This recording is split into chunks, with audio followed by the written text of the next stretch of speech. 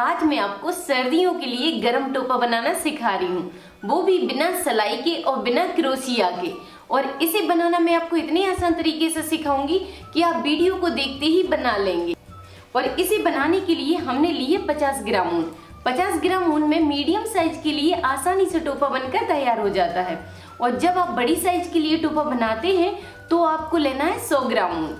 100 ग्राम ऊन में एक बड़ी साइज़ का टोपा बन जाएगा और एक छोटी साइज़ का टोपा बन जाएगा। ठीक है तो इस तरह आपको ऊन लेना है। उसके बाद अब आपको लेना है कि आप किस साइज़ के लिए बना रहे हैं। तो उसी साइज़ का एक पुराना टोपा ले लीजिए। तो ये मैंने पुराना टोपा ले लिया है, जिससे आपको लंबाई और इसकी गुलाई का पता चल जाएगा। अब उसी के बराबर से हमें पहले इलास्टिक निकालना है। तो इस तरह इलास्टिक को आपको मिलाकर रखना है। और यहाँ पर थोड़ा सा बढ़ा कर रखिए। अब इसको डबल कर देंगे। तो इस तरह हमें गुलाई का पता चल गया है। और आपको फिर लेना है लंबाई का नाप। आप चाहें तो सिर से भी ले सकते हैं। इसे हमने फैला कर रख लिया है। अब आपको ऊन निकालना है। तो ऊन आपको कैसे निकालना है? तो इसके लिए मैं आपको एक आइडिया बताती हूँ। एक लेना है आपको कार्डबोर्ड तो ये ले लिया हमने कार्डबोर्ड कार्डबोर्ड तो सभी के पास पड़े रहते हैं, ठीक है? तो इस तरह आप एक कार्डबोर्ड ले लीजिए। अब कार्डबोर्ड की लंबाई आपको कैसे रखना है तो इस तरह आपको चेक करना है। जो भी टोपा की साइज़ है, उससे आपको कार्डबोर्ड की लंबाई डबल रखना है। इस तरह आप चेक कर सकते हैं, ठीक है? अब आपको लेना है ऊन। तो इस तरह आपको ऊन रखना है इसके ऊपर। यहाँ पे एक साइड हमने निकाल दी है ऊन को, और बस यहाँ पे अंगूठा को रखते हुए इस तरह घुमाते जाना है।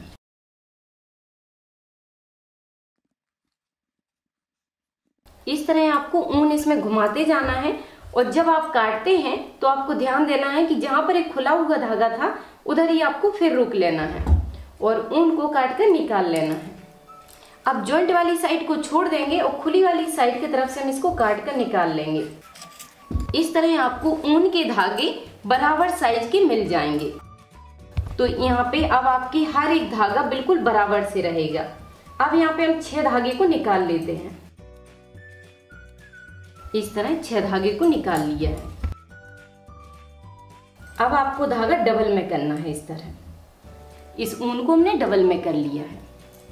अब आपको इसके ऊपर से जॉइंट वाली साइड को डालना है और बाहर की साइड निकाल लेना है। अब इस जॉइंट वाली साइड में से एक खुली वाली ऊन को हम निकाल देंगे। तो यहाँ पे इस तरह का बनता जाएगा। अब इसी तरह हमें धागे यहाँ पर बांधते जाना है। इनके धागे को आपको डबल में फोल्ड करना है पहले, इस तरह पकड़ा।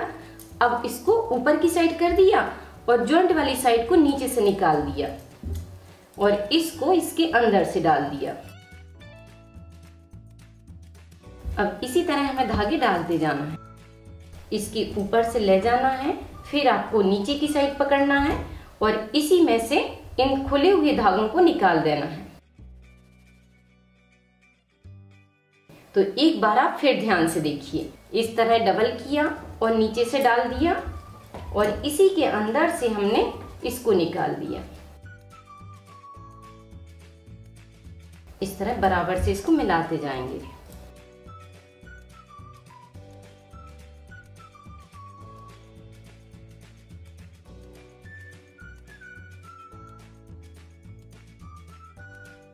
तो इस तरह आपको पहले इसमें छह धागे डालना है। अब छह धागों को जब हमने डाल दिया है तो ये नीचे की साइड बारह धागे आपको मिल जाएँगे। तो चार चार धागों को हम एक साइड कर देंगे इस तरह। अब यहाँ पे कुछ आपको रख देना है जिससे ये खिसकेगा नहीं, ठीक है? किसी भी भारी चीज़ से इसको दबा कर रखिए कि जिससे खिसकेगा नहीं और आपको बनाने में आसानी होगी।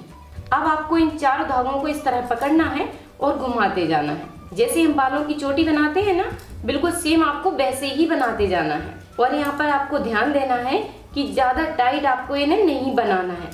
जैसे बालों की चोटी थोड़ी फूली फूली बनाते हैं, जिससे सुंदर आती है, बस वैसे ही बनाते जाइए।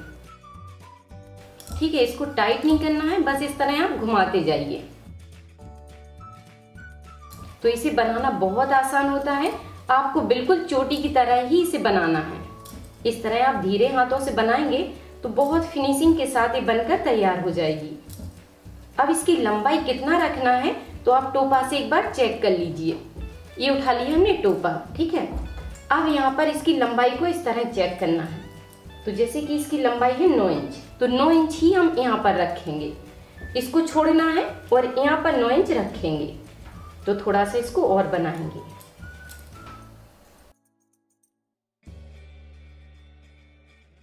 ये नौ इंच बराबर से आ गया है। अब यहाँ पर एक फंदा को आगे बढ़ाते हुए एक धागा को लेना है आपको और इस तरह इसको बाँध देना है। ठीक है, यहाँ पर बाँध दीजिए अच्छे से। ये अच्छा टाइट बंध गया है। तो इसी तरह हमें ऊन के धागों से चोटियाँ बनाकर पूरी इलास्टिक को कवर करना है। तो आइडिया बिल्कुल सेम रहेगा। आपको सेम आइडिया से बनाते जाना है और पूरी इलास्टिक को कवर करना है। तो सेम आइडिया से हमने 22 चोटियों को बनाकर तैयार कर दिया है। अब आपको बस इसे क्या करना है? कि पलट कर उल्टा रखना है। अब ये सीधा था, अब हमने इसको उल्टा कर दिया। अब इसको ज्वाइंट करना है। तो इस तरह चोटियों को आपको पकड़ना है और अच्छे से मिलाकर रखिए। और यहाँ पर आपको तीन फंदों को छोड़ देना है। एक, दो, तीन। और चौथे फंदे से हम सिलना शुरू करेंगे। तो एक आपको सुई लेना है और अच्छे से नीचे की साइड बाँध लेना है। उसके बाद यहाँ पर इस तरह एक एक धागे को उठा लेना है। जो बंधा हुआ धागा है, उसी के अंदर से आपको सुई को निकाल देना है, जिससे निकलेगा नहीं अब। उसके बाद बस आपको एक धागा इसका लेना है, एक धागा इसका लेना है और सुई को निकालते जाना है। अब आपको हर धागे में से एक एक धागा लेते जाना है। इस तरह इसको सिलना है। एक धागा इसका लिया और एक धागा इसका लिया। फिर एक धागा इसका लेना है और एक धागा इसका लेना है। इसी तरह आपको धागे डालते जाना है। और जब आप लास्ट में आ जाते हैं तो यहाँ पर अच्छे से बाँध कर धागे को काट कर निकाल लीजिए। ये लास्ट हो गया है, अब यहाँ पे हम इसको बाँध देंगे और काट कर निकाल लेंगे।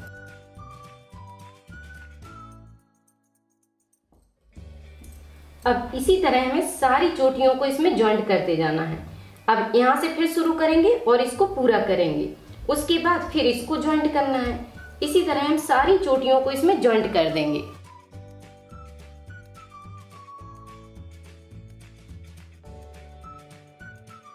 तो इस तरह आपको इसे सिलकर कंप्लीट करना है। और सिलते समय आप चाहें तो यहाँ पे क्लिप लगा सकते हैं, जिससे धागा निकलने का डर नहीं रहेगा। इस तरह लगा लीजिए। और अगर आपके पास इस तरह की क्लिप नहीं है तो आप बालों की क्लिप को भी लगा सकते हैं। ठीक है, जो नॉर्मली क्लिप रहती है, उसे भी इस तरह दबा सकते हैं, जिससे धागे इस साइड नहीं निकलेंगे। उसके बाद अब आपको चाहिए छोटी सुई और उसमें चार लेयर में धागे को डाल लीजिए तो तुरपाई वाली सुई में हमने चार लेयर में धागे को डालकर अच्छे से बाँध लिया है। उसके बाद बस आपको दोनों कॉर्नर को इस तरह पकड़ना है। इस तरह पकड़िए और इसको अच्छे से जॉइंट लगा दीजिए। इसको सिलते जाइए।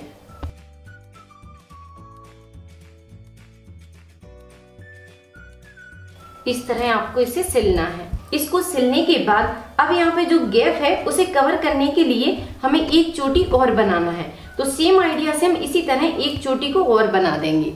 तो यहाँ पे हमने फिर छह धागे को ले लिया है। एक धागे को लेंगे और इसको घुमाकर अपने सामने रख लेंगे। इस तरह आपको इसे कवर करते जाना है।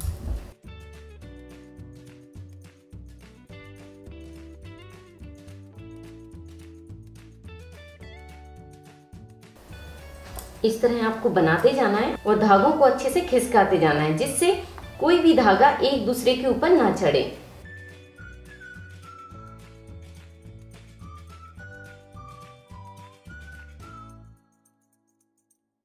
चार चार धागों को फिर पकड़ेंगे और बस बनाते जाएँगे। तो चार धागे ये हो गए हैं और चार धागे ए हो गए हैं।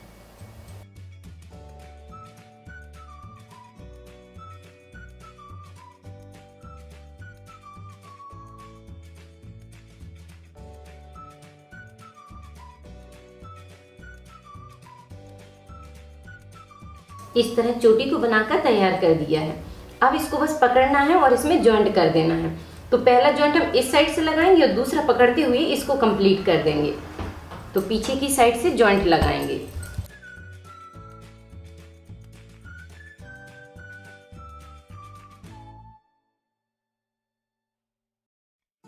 तो सेम आइडिया से आपको पूरे टोपा को सिलकर कंप्लीट करना है।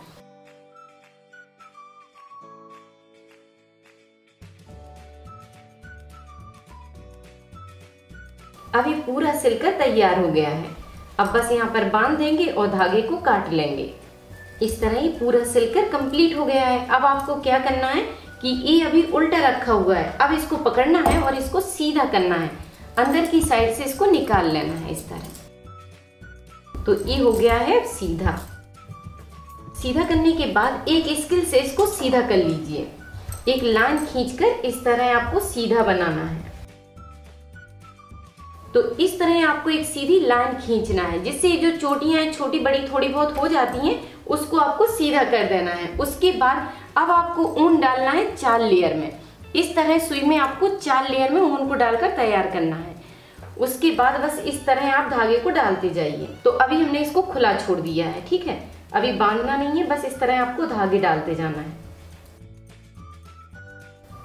इस तरह धागे को निकालना है एक एक चोटी के पास से।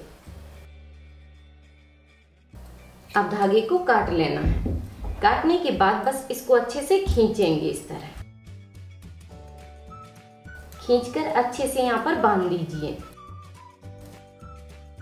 तो इस तरह आपको अच्छे से इसे बांधना है, उसके बाद यहाँ पर दो इंच आपको धागों को छोड़ना है, जिससे इसमें सुंदर सा लुक आ जाएगा, ठीक है? और बाकी के धागा को काट के हम निकाल देंगे।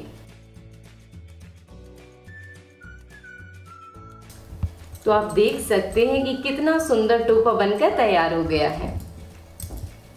और ये रहेगा आपका बॉर्डर की तरह, जो कान के नीचे रहेगा, ठीक है? तो इसे आप इस तरह फोल्ड कर सकते हैं। अब आप चाहो तो अपनी पसंद के हिसाब से इसमें डेकोरेशन कर सकते हो, जिससे इसमें और सुंदर लुक आ जाएगा। आप चाहें तो इसमें पम बनाकर लगा सकते हैं, या धागे से तितली भी बनाकर लगा सकते हैं, जिससे इसमें सुंदर सा लुक आ जाएगा। तो इसमें मैं व्हाइट कलर की तितली बनाकर इसमें ज्वाइंट कर रही हूँ।